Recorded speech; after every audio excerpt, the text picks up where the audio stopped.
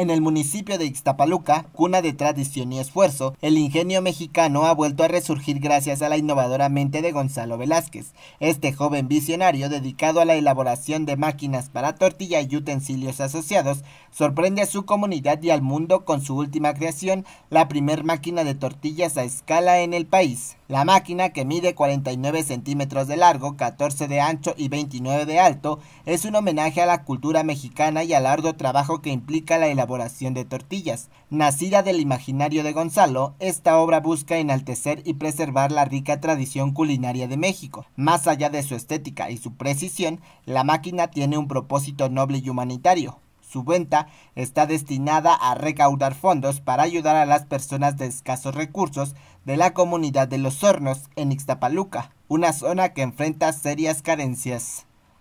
Es poder hacer, poder vender estas máquinas para yo poder ayudar a personas de bajos recursos. La verdad es lo que a mí me, me agrada eso.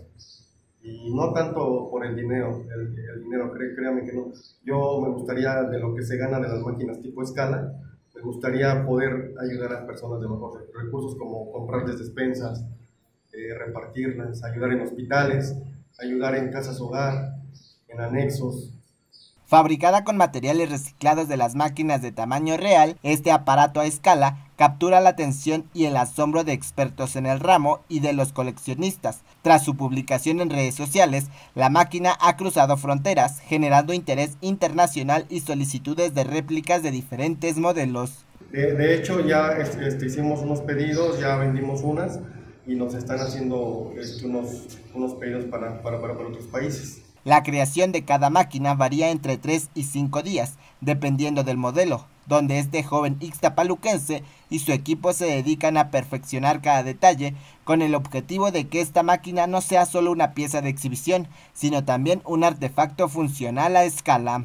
Sí, de, de hecho, bueno, el valor es o bueno, sí, sí, sí cambia bastante el valor, pero sí estamos viendo la forma de hacer la máquina a escala. A lo mejor este, la máquina a escala funcional, pero a lo mejor va a ser un poquito más grande la máquina, pero sí va a ser funcional.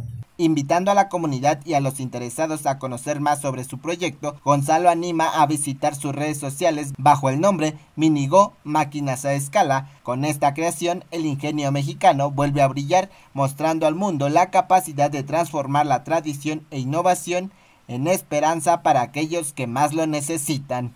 Para Canal 6 TV, Rigoberto Santos.